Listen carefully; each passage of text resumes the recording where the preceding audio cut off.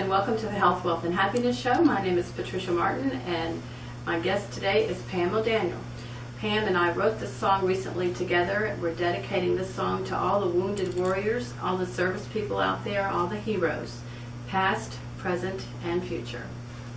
Take it away.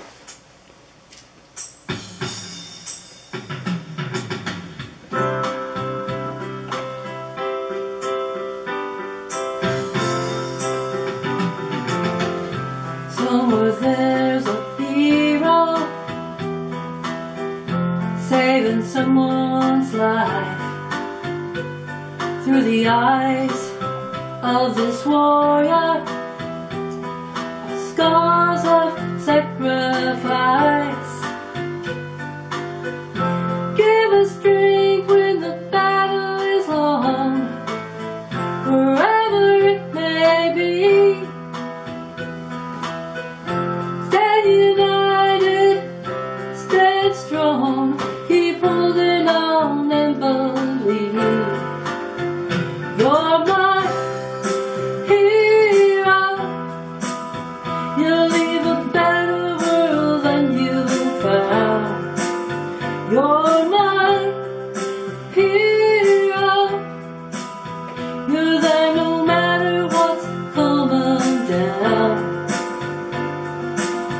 幸福。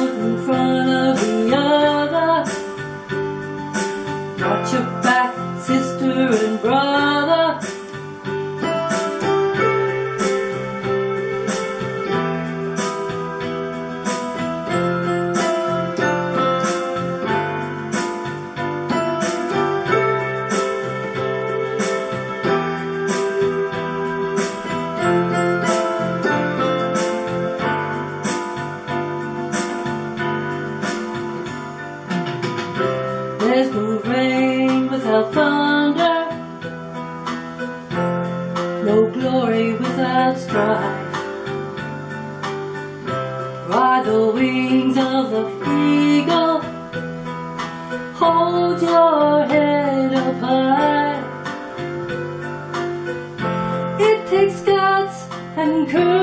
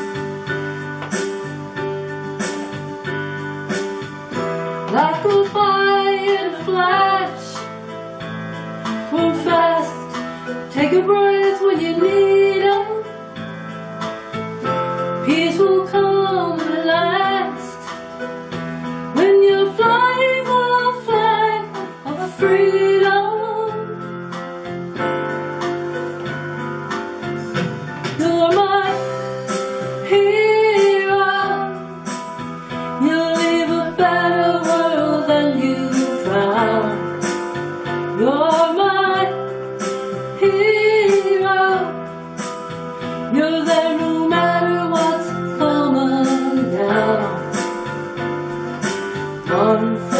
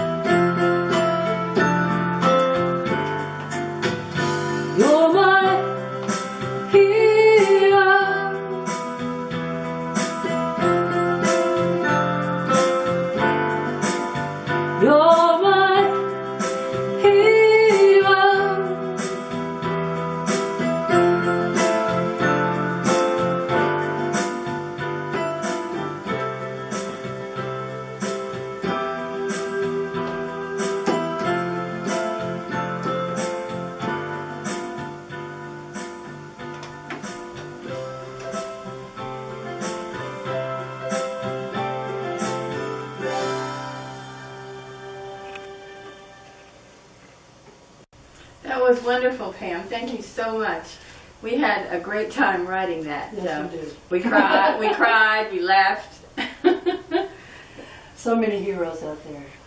yeah, we went through the whole gambit of um, the wounded warriors. That whether you're the bullied child, the uh, battered wife, the guy who's returning from Iraq, the the Firemen, the fireman, of the course, the, policemen, firemen of in course, ambulance Arizona. people. The list goes on and on of how many heroes there are out there. Every day, you know, somebody's saving someone's life if they're in a car wreck or something. You know, Right. they take their own life in their in their own hands and and save Yeah. someone. And They're the person that rushes towards the emergency rather than running away from it. And, Right. You know. And it's a possibility of even ourselves being a hero one day, helping other people in whatever way they can. There's been a dog that's been on Facebook, and they've referred to him as a wounded warrior. He's um, a German Shepherd that's trained to recover bodies and um, He lost one eye. lost one eye, a, a bomb. Um, what do they call them? The explosion. I don't know what they're called. And Shrapnel. What's it? Shrapnel? Shrapnel. His eye. It's called an IE. D. IED, I think, exploded. And but he's perfectly fine. He needs a home, and uh, my heart went out to the to the animals, the pets, and and then when the Arizona, the firemen, uh, were just so touched. Our friend, uh, friend Frank Ortega is doing a um, a benefit for the firemen in Arizona. He's from there, but. Um, Oh, okay. Another subject there. But I, I've met uh, Pam about 15 years ago, I guess. Right. And at that time, you were playing um, a Indian flute, and I Native American. Native American, and I headed in that direction because I heard this ethereal sound. And uh, so you're, I now know that is your background. yes, I'm uh, Cherokee, Choctaw, and Irish. And so, how did you get interested in music? How did, where did that begin? did the flute come before the songwriting or the piano, or Well, I guess probably um, I came to Nashville so that I could write songs and uh, make something of myself, make a difference, whatever that might be. And, and uh, quite a long time ago. And Harlan Howard was my mentor, and uh, wow, yeah, that's great. he was wonderful. He showed me how to write a song from the heart, mean what you say, keep it simple, but get to the point so everyone understands and feels it, you know. And anyway, he is gone now, but I sometimes feel his presence around me, like his spirit going, go girl, you know, Right. because he was a great guy. And you write with um, Sheldon Gahan. hmm What have you written with Sheldon? Well, we, we write uh, spiritual music, and then we also write rock and roll. Oh, Mm-hmm. And folk. We write folk music, things that from uh, mountain type music that uh, is really cool, different. Pam did a um, uh, the music, and tell me, I'm probably not phrasing this correctly. It's called the Red-tailed Hawk. Yeah, red tail hawk. Red-tailed Hawk. Mhm. And to me, it's similar to a music that you'd hear in the, a background in a movie, like a movie track. It's absolutely like a John Barry. It's absolutely stunning. Well, thank you. Tell us a little bit about that. Well, I wrote it when I was 21, but I never gave it a title until many, many years later. And uh, the red tail hawk is it's just so beautiful, and I just, for some reason, it just seems that that's the name that should be good right for it. So I just decided, you know, that, that he deserved that song. It was Right. right, for him, and uh, so that's why I wrote. it. And you also teach piano. Yes, teach piano and voice. And where did you do that? uh, Virginia's Music Center and Jewish Community Center. Awesome. So who are your students? Do you have just all children? Now I have some adults and, uh, and I have some children that are uh, really, really talented these days. These kids are just unbelievable. It's amazing. It is amazing how they can learn so fast and they're just so gung-ho and getting it all done and, and uh, just being around them. I just honored myself to be their teacher. Pam is teaching me to be a songwriter, and we've had a lot of fun collaborating. And um, was it last October we wrote a song about the Bell Witch? Bell Witch with Tony. Uh huh. Right. Right.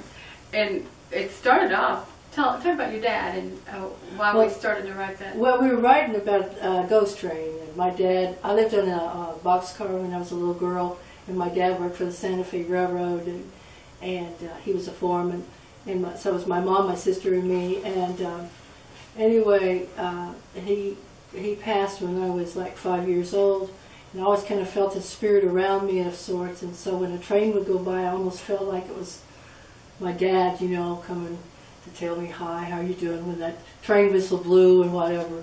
And so we just kind of started talking about it, and it was around Halloween time, and then we started talking about the Bell Witch.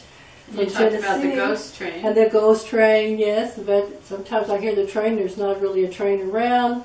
I wondered if it's my father and it's a train, I don't know. We started doing research on the internet, and we found out that there was a train Mhm. in Adams, Tennessee. It was actually a passenger train, and uh, it's no, it's disintegrated. There's no longer a train there, but um, we had that's on YouTube. Yeah, Yeah. yeah, it is. So we just been having a lot of one song after another. Right. Right. But anyway, I hope that everybody will love this song, and we put a lot of thought behind it and a lot of heartfelt emotions in, in what we wanted to say and how we felt, and so I hope everyone likes it. right. So what? Um, right, do we have any projects for the future that are uh, totally pending and looking forward to doing anything? Um, Well, I'm hoping to uh, be able to make a video out of this song. oh, that'd be fabulous. My hero. Yeah. Who are some of your heroes? Well, I guess I, I look up to my father as being one of my heroes, Right. actually. My stepdad's always been there for me too, so he's my hero. My mother, definitely my mother. She's Yeah, she's awesome. She's 80, 80 years old. 80 years old and And going, just- going like a. Yes, she's stronger than me. No, she just goes out. She's the energizer. And if you slunch, she says, stand up.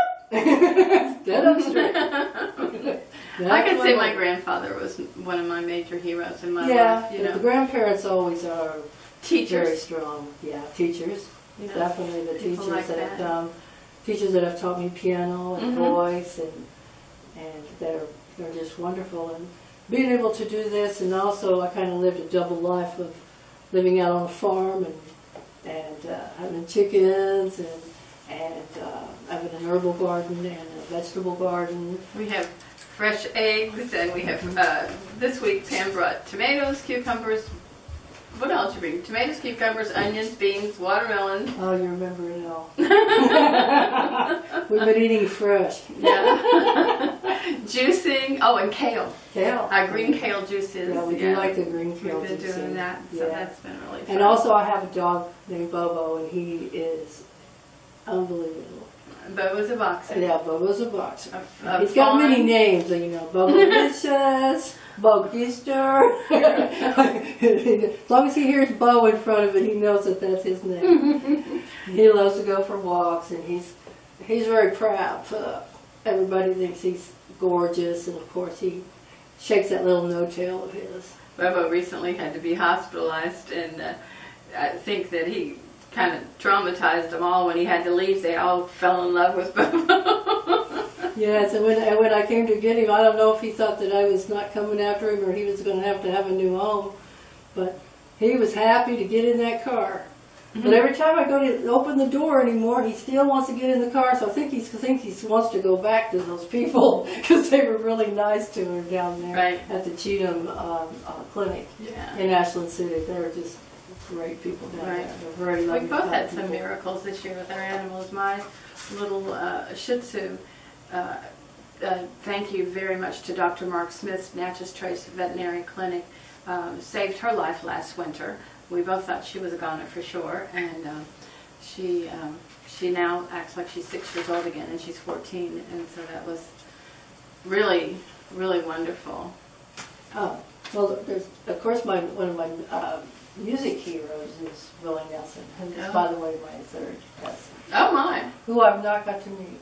Oh. I'm hoping to meet you, Willie, if you're out there, Willie! your cousin. Your Well, third We'd love to have you on the show. we absolutely would. And then also there's uh, the, uh, your friend that wrote with Willie. Oh yeah, absolutely. Uh, Wendy harp, she, her husband uh, Wayne uh, wrote a song, uh, "You're Always on My Mind" with uh, For Willie, and I think uh, Elvis did that as well. So, and uh, Wayne is going to also be a guest on the show. We're looking forward to that. Wendy does uh, the Bos the Southern Cross Boston Terrier Rescue. So, I think our lives have revolved around the animals. Yeah, that's for sure.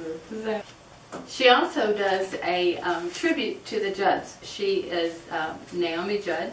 Her friend is Wynonna Judd, and they perform in Gatlinburg, and they're really, really awesome. Very, very talented. So, um, And they look so much like them. I mean, uh, it- first time I saw Wendy, I thought she was Naomi Judd. And then all, not only that, but their voices. Yes, very talented. Very, very talented. I mean, you, if, if you didn't, I mean, you couldn't believe that they sound so much like them. Right. It's unbelievable. Exactly. Yeah. So we have had quite a time writing our songs. We want to meet a lot of people that can make a difference in the world, and um, We're actually going to do a video of, uh, that's surrounded by You're My Hero, Oh, and yeah. so w- if anybody has a particular photo that they'd like to submit that would they would like to have us include in the video, it could be of a hero, it could be of a coach, it can be of uh, a, a fireman, a policeman, an ambulance driver. even little dogs, they're like our hero too, and, They and cats, they're like our hero. I mean, they they give so much love and compassion, and they, they really change our life. I mean, they, They do, do. make a difference in the They world. absolutely do. Yeah, I agree. So I, I guess we, we just pretty much covered everything there is on hero ship. Oh, God. Where's the we need you? Yeah, at um, uh, Studio 23, I've been working with Brian Cummings, Cumming, I should say, no S. And uh, he is wonderful. He's the one that helped me put uh, uh, Red Tail Hawk together and um, Is, his, is he the one that his band is, uh, the Wannabees? Water Beatles, uh-huh, Yeah. yeah. I've heard them. before. well known and they sound fabulous. So I, when I heard them, I was like, oh my gosh, they're Mhm. great. They are. Yeah. And Brian, he's just like so multi-talented. I mean, he can play almost every instrument there is, and he's so, you know, he, he he's so easy to work with. And I've been doing like some producership and and uh, with a little girl called Keela Baccarat, and uh, she. Uh, uh, she and I and her mother wrote some songs to go in her very first. I understand you do a, a, a pretty good Patsy Cline. Yes, I can sing the Patsy Cline. Can I put you on the spot? No, you no. can't. Another show. but sometimes you can hear her at nachos. That's right. I do every once in a while sing at Nachos with Brian Cahan. And I think it's about every Sheldon other Thursday. Sheldon. Did I say Brian? Brian, yeah, always So think of Brian Cummings, okay. Sheldon. Crazy.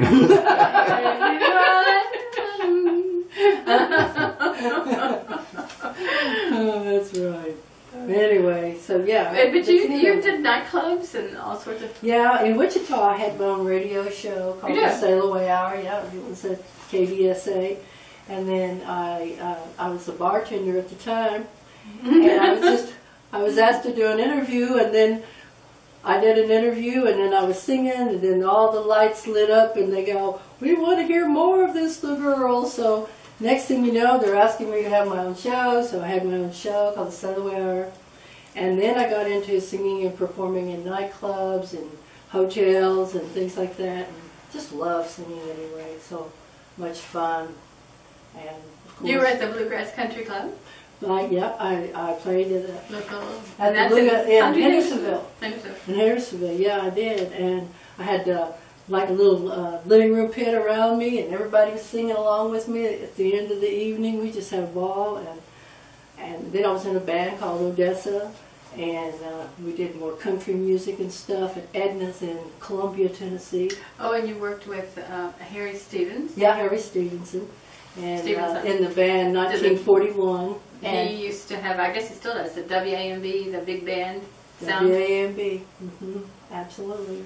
And then him and I wrote a song that was uh, called 1941 during Pearl Harbor, and uh, Not uh, during Pearl Harbor, but I mean. It was the anniversary of Oh, Coral I see. Harbor. Uh-huh.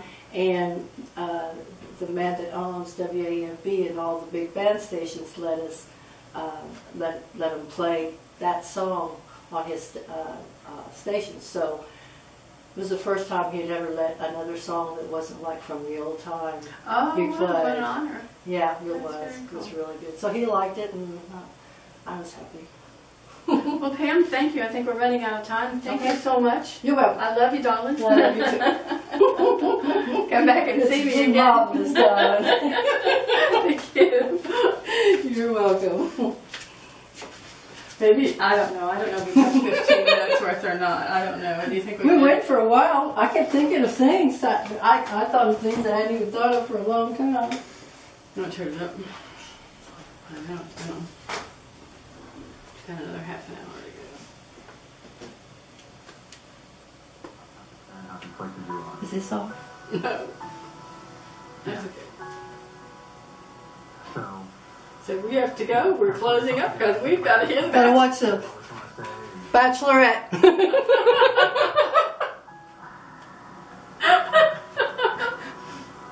uh oh. There are tears. goodbye today. Okay, thanks. Bye-bye. Long